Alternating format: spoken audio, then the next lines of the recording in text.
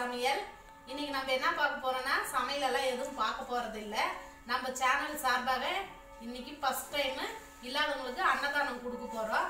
அது வந்து நம்ம தக்காளி சாதம் செஞ்சு வச்சிருக்கிறோம். அது வந்து பார்சல் பண்ணி எடுத்துன்னு போய் கொடுக்கலாம். தக்காளி சாதம் பாருங்க. நாங்கள் நிறைய செய்யல. ஒரு கிலோ அரிசி போட்டு செஞ்சுருக்கோம். இது எத்தனை பேருக்கு வருதோ நாங்கள் எடுத்துன்னு போய் இன்னைக்கு கொடுக்குறோம். அதுவும் வந்து நைட் சாப்பாடு தான் நாங்கள் தரப்போகிறோம் மதியம் ஸ்டார்ட் பண்ணி இப்பதான் முடிஞ்சிச்சு. இப்போ நாங்க பார்சல் பண்ணி எடுத்துன்னு போய் கொடுக்க போறோம். வாங்க பார்சல் போடுறத பாருங்க. இப்போ ஒரு ஒரு பார்சலா பண்ணிக்கலாம் நம்ம.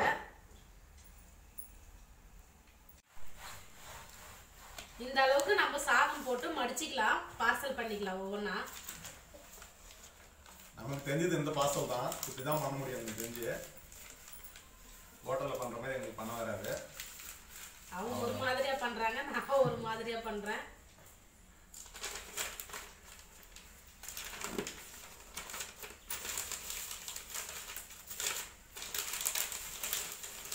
சூடா இருக்கு. அப்படியே இருந்து கொடுத்தா உடனே சூடு சூடா சாப்பிடுவாங்க.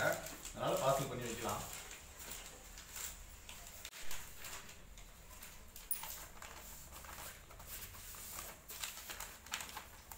நம்ம எல்லாமே பார்சல் பண்ணின்னு பார்க்கலாம். பார்சல் எல்லாம் கட்டி முடிச்சாச்சு. கிட்டத்தட்ட ஒரு ஒன்பது பார்சல் தான் வந்திருக்கு. போதும். இன்னைக்கு முடிஞ்ச அளவுக்கு கொடுப்போம். கொடுத்து ஏதோ நம்மளால முடிஞ்ச உதவி செய்வோம். செஞ்சது எல்லாமே காலி. எல்லாமே பார்சல் பண்ணிட்டோம். இதுதான் நாங்கள் ஸ்டார்டிங் ஃபர்ஸ்ட் கொடுக்க போறோம். உங்களோட ஆதரவு இருந்தால் நாங்கள் இன்னும் நிறைய செய்வோம். இதுதான் ஃபர்ஸ்ட் கொடுக்க போறோம். அது எல்லாமே யார் எவ்வளோ சாப்பிடணும்னு நமக்கு தெரியாது. சும்மா ஃபர்ஸ்ட் டைம் அதெல்லாம் தெரியல. தெரிஞ்ச வரைக்கும் நாங்கள் பண்ணியிருக்கோம். கொடுத்துட்டு வந்து அவங்க என்ன சொல்றாங்கன்னு பார்த்துட்டு அடுத்த இதில் இன்னும் நிறைய செய்வோம். சரி இப்போ இதெல்லாம் எடுத்துன்னு போய் கொடுத்துட்டு வந்துடலாம். ஹாய் ஃப்ரெண்ட்ஸ் இப்போ நம்ம வந்து பார்த்தீங்கன்னா ஒசூர் தர்கா முத்துமாரியம்மன் கோயிலுக்கு நின்று இருக்கோம். வயசானவங்க பெரியவங்க ரெண்டு பேர் இருக்காங்க. அவங்களுக்கு சாதம் கொடுக்க போகிறோம் வாங்க கொடுக்கலாம். நம்ம யூடியூப் சேனல் சார்பாக கொடுக்குறோம். ஜோதி வீட்டு சமையல் சார்பாக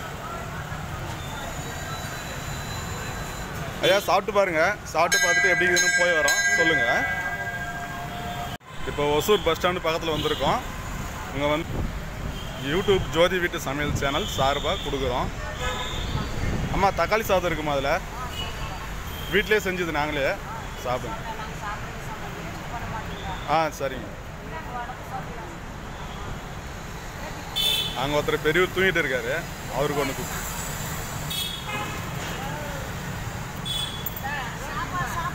பெரியவரா?